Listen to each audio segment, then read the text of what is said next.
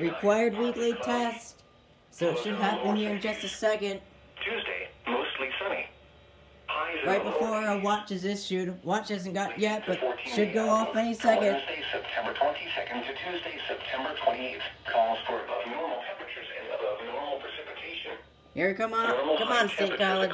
Conduct it. During this period range from the mid 60s over the Allegheny Mountains to the low 70s across the lower Susquehanna Valley. Hello. Normal lows range from the mid 40s over the Alleghenies to the low 50s across the lower Susquehanna Valley. Excuse me. Are the 11 a.m. conditions in the Harrisburg area. In Harrisburg, it was mostly sunny. There. There you go. Thank you. There it is.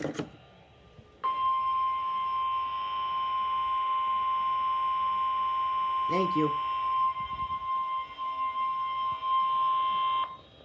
The National Weather Service Office in State College, Pennsylvania.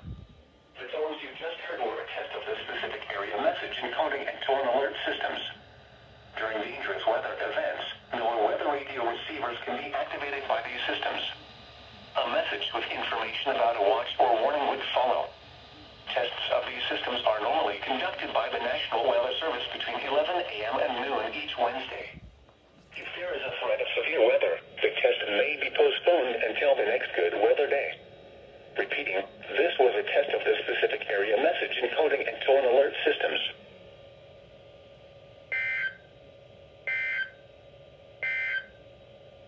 The 8 to 14 day All right, there you go.